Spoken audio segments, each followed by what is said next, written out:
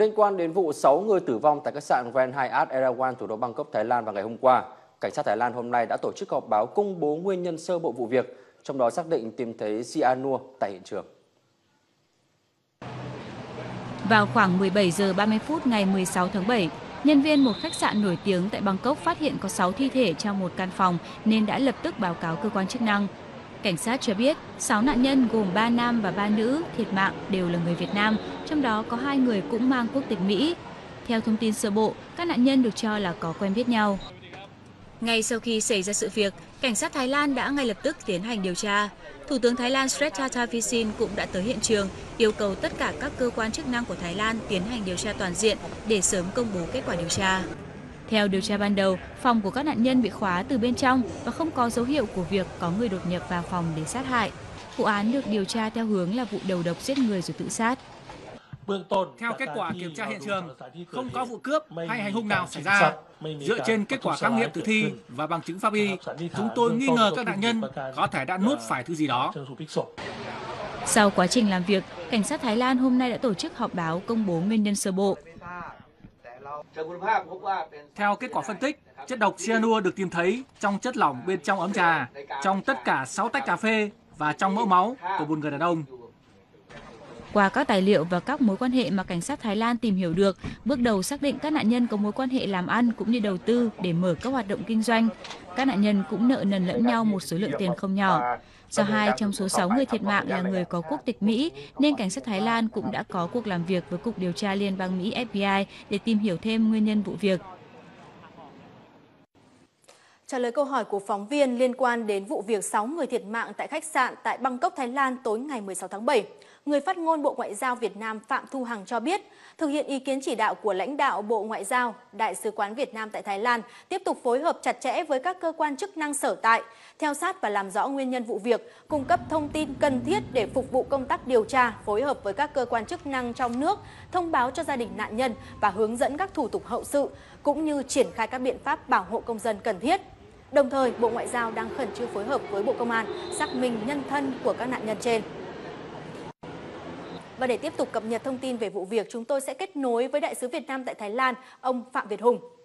Vâng, xin chào ông Phạm Việt Hùng. Ông có thể cung cấp cho khán giả truyền hình quốc Việt Nam những thông tin mới nhất về vụ việc 6 người thiệt mạng tại một khách sạn tại thủ đô Bangkok không ạ?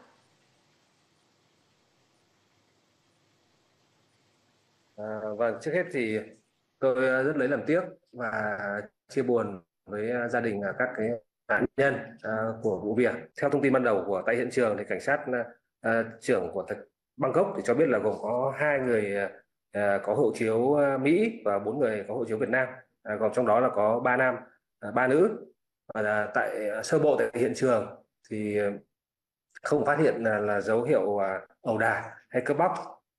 và thủ tướng Thái Lan thì cũng đã trực tiếp À, đến hiện trường cùng làm việc với à, cảnh sát trưởng à, của hoàng gia Thái Lan cũng như cảnh sát của thủ đô Bangkok.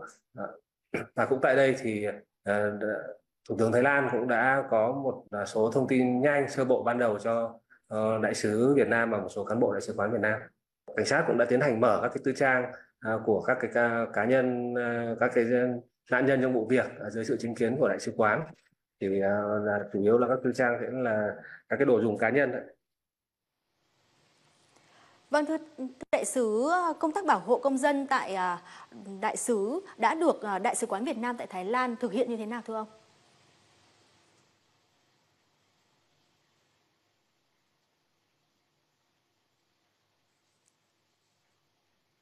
À, vâng thì à, à, à, ngay sau khi nhận được thông tin à, tiếp nhận được thông tin thì dưới sự chỉ đạo à, của Bộ trưởng Bộ Ngoại giao Bùi Thanh Sơn các lãnh đạo của Bộ Ngoại giao, thì ờ, đại sứ và đại sứ quán ờ, Việt Nam tại ờ, Bangkok, đặc biệt là các cán bộ liên quan đến công tác bảo hộ công dân và công tác lãnh sự, thì đã đến ngay hiện trường của vụ việc, làm việc với các cơ quan của Bộ Ngoại giao Thái Lan, rồi cảnh sát Thái Lan để mà tiếp cận thông tin, đồng thời là để mà phối hợp trong công tác bảo hộ công dân và cũng như là thông tin cho tất cả các cơ quan các cơ quan liên quan trong nước à, để mà cùng phối hợp à, xác minh các thông tin à, về nhân thân. Vâng, xin cảm ơn đại sứ Phạm Việt Hùng với những thông tin vừa rồi. Cũng theo Đại sứ quán Việt Nam tại Thái Lan, trên cơ sở thông tin hộ chiếu, Đại sứ quán sẽ thông báo Cục xuất nhập cảnh hỗ trợ xác minh nhân thân và thông báo thân nhân người nạn biết, hỗ trợ hoàn thiện các thủ tục để người thân lo hậu sự cho các nạn nhân. Ngay sau khi cảnh sát cho phép,